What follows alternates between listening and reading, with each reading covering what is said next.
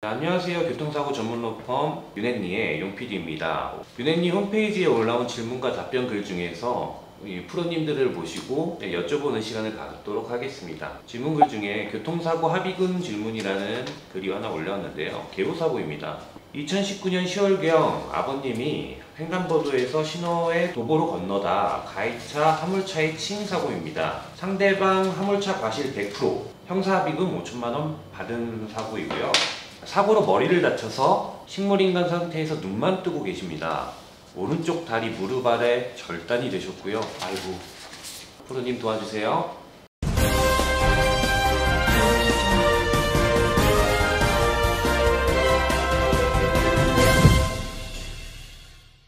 교통사고 전문업 유네니 TV의 프로 함께를 시작합니다. 아, 오늘 또 어, 저와 함께 에, 진행할 김프로를 소개합니다. 김프로.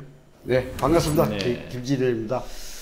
오늘 질문글 내용이 개호 관련된 상태의 식물인간으로 지금 보여지고요. 그 다음에 또 거기다 지금 오른쪽 무릎 아래 또 절단까지 입은 이 중상의 환자 케이스로 질문글 올리셨네요. 개호 환자인 경우에 있어서 피해 보상으로 나가는 항목이 있죠.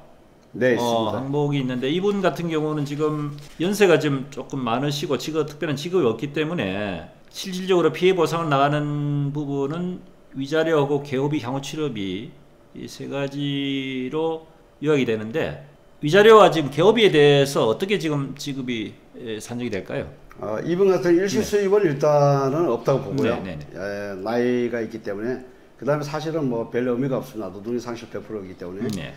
이 실무적으로는 이제 개호가 그한 법원에서는 1.5, 12시간 정도 인정을 하는 추세고 그 다음에 항우 치료비, 그 다음에 보조기구, 이자료 이렇게 크게 네 가지를 볼 수 있겠습니다. 사실은 지금 보통 일반적으로 이제 보험사 측하고 합의보다는 소송을 통해서 진행이 된다는 것이 일반적인 저희들이 전문가들 보는 주장인데요.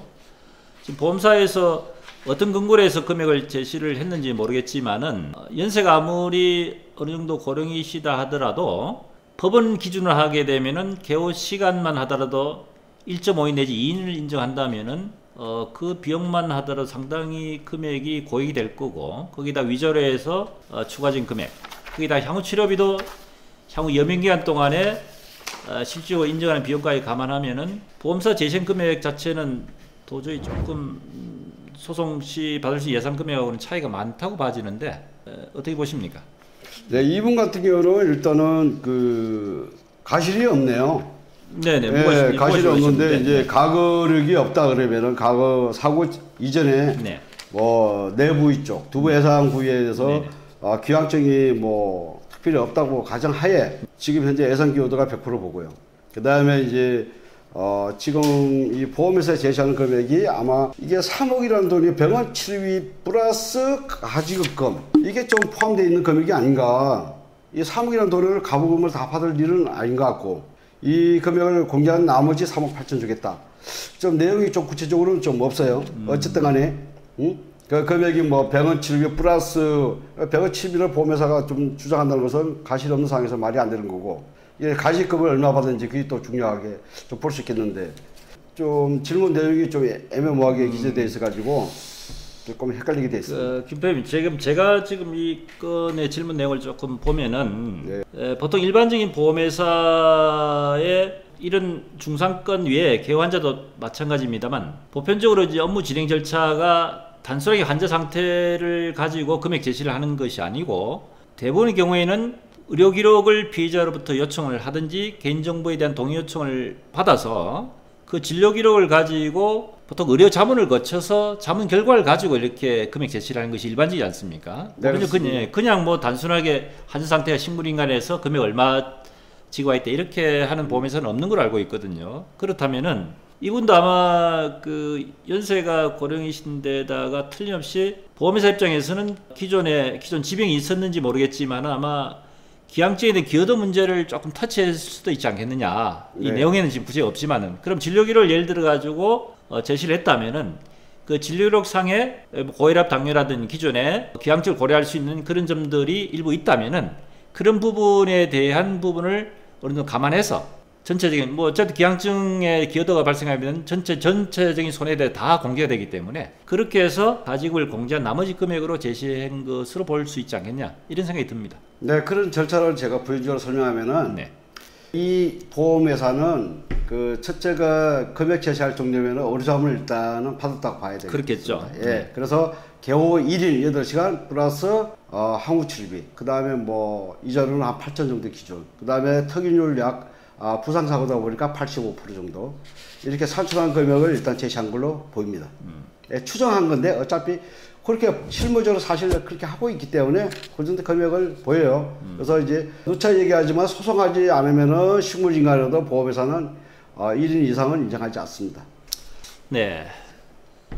자 질문의 내용, 내용에 대한 부분에 대해서 뭐 간략하게 답변을 드렸고 식물인간 경우에 이 사건 역시 단순한 보험사 측에서 어떤 금액을 제시하든 간에 에, 현실적으로는 피해 보상 금액이 에, 사실 소송 시하고는 많은 차이가 나는 거 나는 것으로 예상이 됩니다.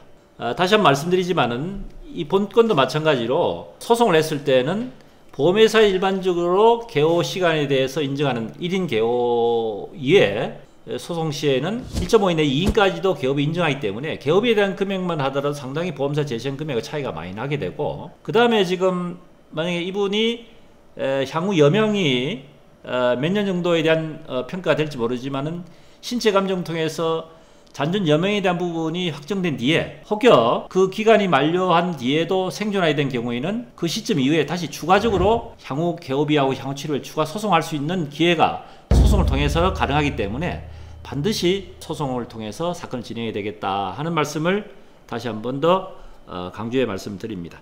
김프님 뭐 추가적으로 다른 뭐 추가 말씀하신 내용은 없으신가요?